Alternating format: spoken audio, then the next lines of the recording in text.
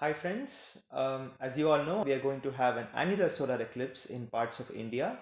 So I take this opportunity to explain to you um, some information about solar eclipses. Um basically, I'm going to talk to you about different types of solar eclipse and um, as to why they don't occur every lunar month. So let's start with types of eclipses.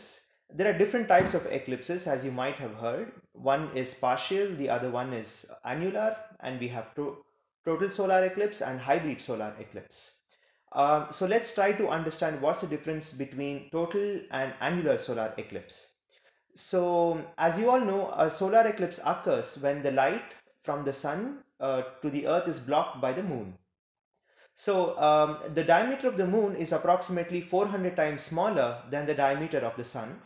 And also uh, the moon is about 400 times closer to the earth than the sun is.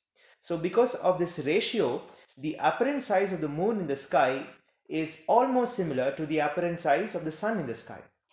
But however, uh, the orbit of the moon around the earth is not perfectly circular. It is oblated, we call it an ellipse.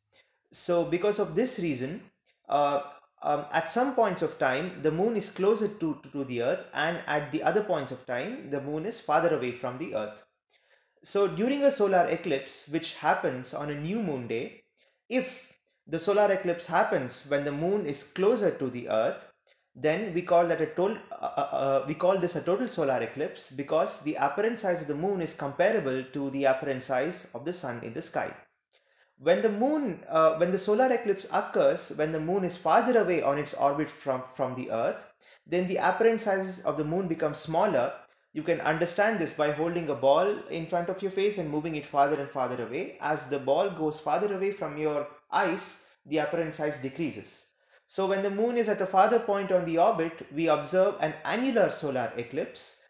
Um, and in this case, uh, the sun is not completely covered by, by the moon, but a small rim around the moon is visible, which is basically the sun behind it. Okay, so now let's try to understand why uh, we don't have a solar eclipse once every 28 days, which is a lunar month. So um, as I mentioned, the orbit of the moon around the earth is not circular. It is, uh, uh, we, we call it an ellipse. And also the orbit of the moon around the earth is inclined at an angle about 5 degrees compared to the orbit of the earth around the sun, which is the ecliptic. This lies in what we call as the ecliptic plane. So uh, because of this reason, eclipse can only occur when the moon is intersecting this ecliptic plane and this does not happen every month. Uh, and now let's come to why we uh, don't observe a total solar eclipse or an annular solar eclipse at all places on earth. So uh, as I mentioned, uh, we observe a solar eclipse when the shadow of the moon falls on the earth. Now the moon is not a very big object, so therefore when the sun is behind the moon and uh, the moon is casting a shadow on, on the earth, the whole of the earth does not lie in the umbra, which is the darkest shadow of the moon.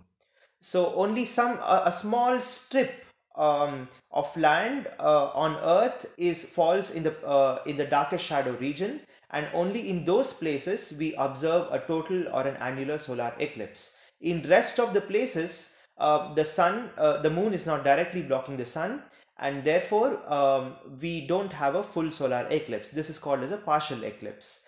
And a hybrid eclipse is one where uh, for a certain duration of the eclipse, we observe a total eclipse or an annular eclipse. And for rest of the period, we observe a partial eclipse from the same location. This can happen for the same reason that the orbit of the moon around the earth is tilted at about 5 degrees from the ecliptic. Okay, so um, and uh, I would like to leave you with uh, one more bit of in information.